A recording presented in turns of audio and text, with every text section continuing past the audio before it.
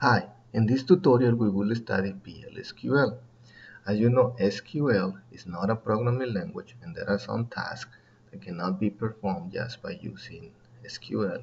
For example, we cannot write code to make some decisions like using if statements and we cannot write, for example, um, um, repetition statements either and so on. PLSQL is not just another programming language, but it's an extension to SQL.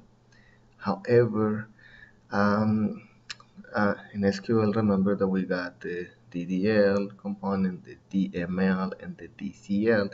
In the DDL is when we create tables, so we cannot include that. So we what we are doing in a PLSQL, we will combine SQL statements and PLSQL statements, but the SQL statements are mainly related with DML.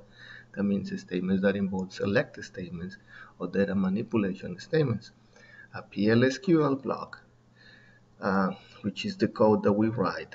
And remember again, the idea is that we're not just using another programming language, but we're extending SQL. And then in this case, it's becoming common in, uh, in for some DBMS or the, for some DBMS database management systems to um, use language similar to PLSQL, which looks like a kind of like a C style language in which we combine SQL statements with PLSQL statements. So now there are main three sections in the code that we, that we write that we call PLSQL block. There is the declaration, the execution, and the exception. As you can see from those three sections, the execution is the only section that is required in which one we will have the, the execution of some SQL and PLSQL. Now, the declaration is when we want to have the definition of the, the declaration of variables and in this section in the which is optional what task should we perform in case that there is some type of error. For example if a SQL statement is being executed and is looking for some data and the data is not found how should we handle that? And uh, or for example something that may be related with some type of other constraints and, and, and so on. Now the declaration section um, it is important for us to give a quick study because remember that we're going to have SQL statements and other MPL SQL statements.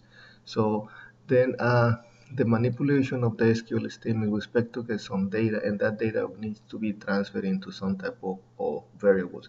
So that we, we cannot directly get information from the SQL statement so we're going to have to have some type of variable and that will be the, the, the addition that we will see now in some of the examples. Let's suppose that we want to get the GPA from the students and we, we execute a statement like select GPA from the student.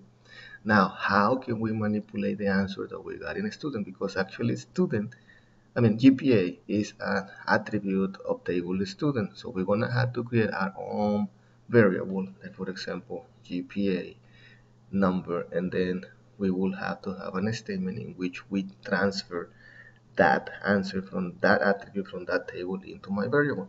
So that's why variables here follow the same data type that we use for tables in in SQL. Now um, this is this is the same thing that we use when we define tables. However, there are some that will be very helpful. Most of, of the code that we will be writing will be related with a specific uh, attributes in a table or with the or with the whole or, or with a set of attributes in a table. Then we got the options of for for example saying okay we will want to have uh, GPA and then we need to say okay if we're gonna get that information from a table we want that to match the type that was defined in the table. And then we need to spend additional time and say okay what was the type? Or, we, or if we were reading the name of a student and we're going to have that in some type of variable that we want to manipulate. So it would be nice to have that declared as a varchar2 30 maybe because that's how it was defined in the table, but we want to have matching data types in the, in the variable and in whatever was defined in the table. So we can spend time trying to do that or having something that may be equivalent or we can use the percentage type which is very helpful because for example in here the v underscore m name I said well I'm going to use this variable to get the name of the the employee. So instead of, of, of, going and researching and say what was the data type that was defined on that table, we can just say, look, I don't even care. I don't want to go and search for that, but make it the type employee employee.name. I mean, whatever is in that table employee, the attribute name, I want that type. So that's that's very helpful, and that's what we show in those examples. Now, in, in that particular example that we just discussed, we're talking about just a specific type for uh, for just one attribute. But then it will be convenient if we retrieve a set of attributes from a table to define a record, like in this case, a record that looks like an struct in, in other uh, systems. So we define that as a group, and then uh, we can just get that uh, information all together from there. Or if we are retrieving, for example, all attributes from the uh, from the table student, then it will be nice just to get the percentage row type. You see that's similar to the uh, to the the one that we just discussed, which was the percentage type. Well, that was for an individual attribute, but if we would say, wait, wait, wait, we're going to need all the information from the students, then one student in this example will be student percentage row type and then in there is kind of like a, we get the select star from the students and then we're getting all the information there and then we can retrieve that as a, as a simple record. Now that's the section about the, the, the declaration section and again the declaration section is optional and that makes sense because we may not need the variables which is not very frequent case but that may be possible that we don't need to define any variable so that is optional. However the execution section as discussed before in the block has to be required because we had to have some type of execution. Now in the execution I will not explain in detail what we have there because it's basically doing something uh, some um, uh, concepts like from programming like we're going to have if statements we're going to have assignment statements we're going to have uh, loops and so on. And some and, and you can review that by yourself. So the the things that may be different so here is uh, do an if statement. Now there may be null statements because when they they may be attributes in the in a, in a given table that had not been assigned a value. We have a null like for example let's suppose that we hire an employee and then it hasn't been assigned to a department and then in that we got a null. And then in cases that we want we to be dealing with data if statements so there will be the common that we got true false but there may also be statements involving null. That means there was not data in assigned yet for that attribute and then this is something that how we want to be deciding.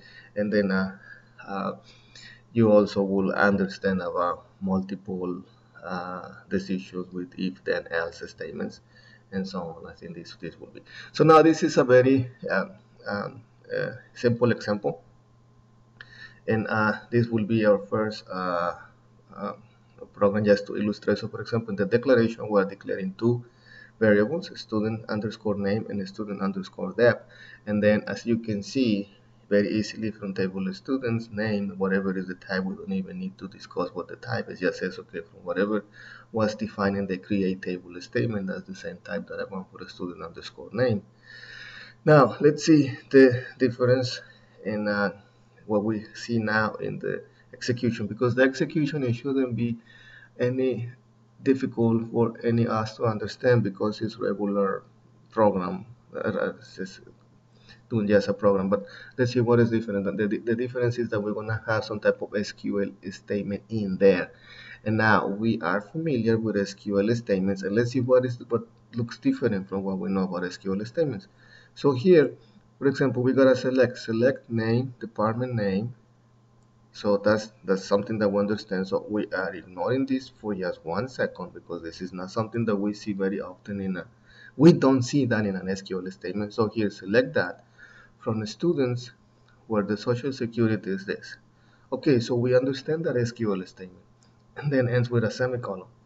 But then you see that after the select clause we got an into so this is something that we gonna we will have now that we that we didn't have before so the select so it says okay we get the name and then we get that information in this variable so this is how it's to communicate so look we're not we are not we will not be able to manipulate this as a variable in the execution of my PLSQL program okay? So that's what in the declaration we're going to have the definition of some variables and then this is not a variable so i'm not that will be a common mistake. I'm not i'm not able to manipulate name or department name.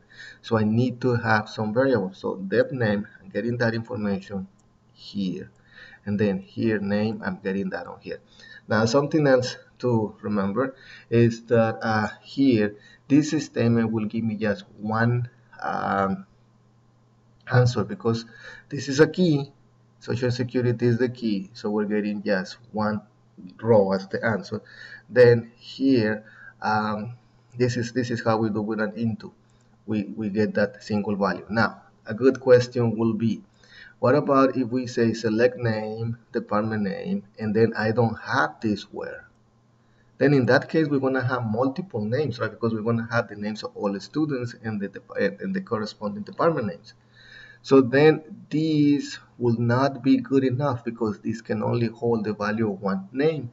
So this approach is good only when we the answer is just one. So we're going to have two type of queries that we need to connect. Queries that return just one single row or ones that return multiple rows. So this is an example for one that returns just one row. At the end of the PowerPoint, there is a topic before the end, I think the, topic before the last is about cursors, C-U-R-S-O-R-S, which is uh, defining some type of uh, uh, kind of like an, an, array or a, a record to, to get all the information like for the table and then we can manipulate that and we will see that later. Okay, so to continue with this, so here is once we execute this statement, now we got these two variables that let's say has been assigned. And then in my program, there is an if statement, so we, will understand that. So here it says if this variable equals to this string, then do this. This this is just a print statement. And then for that print statement, this is the name of the package, dbms output, and then put put line. This is what, we will display so there is nothing amazing there else. Display this and if and this is the end of the program and then the PLSQL statement ends with the, the slash that we have here. So that's how, why is that we have that? Well because remember the semicolon here is the end of the statement single statement so to um, to say okay I'm done we need to have the, the slash. So the end uh, here with the semicolon will be the end of the uh, execution. And that will uh, um, that program will not have uh, in this case a simple uh, ex exception. So doesn't have an exception. Now um, we also discussed previously about scripts. So we can we, we could just type that in the prompt in the SQL plus and type the program or copy and paste it and execute it and that's it. Or it will be a very nice practice just to save it in a file and then execute it the way that we know. Now something else that we need to remember when we do DBMS output and I think we did that in a previous example that we did to be able to see the output on the screen we need to say this. So even though this is not an statement part of the PLSQL, it is a nice practice to add it in a code before the declare for the declaration section to put the, the set server output on. Now on the sections that, the follow, we see that the they just talking about the format of some of the loops. And uh, here, um, this is another example that I think now will make more sense and I will try to uh, um, I, I, will explain this and then stop because the video now is too long. So here is another ex example. We have here a, um, variable and then here this is, this is select so this is a single answer. Again we don't need a cursor. Then we capture that in the variable. This is the end of the execution of the query. Then we got a while loop. Then it says while this is happening. Here we got a SQL statement that says update employees set salary. So we're adding we're, we're increasing the salary by 2% and we keep executing. Now this maybe not doesn't look like a very efficient program but it's just the idea is just to illustrate the, the example. So I will stop now and uh, continue with the next part in another tutorial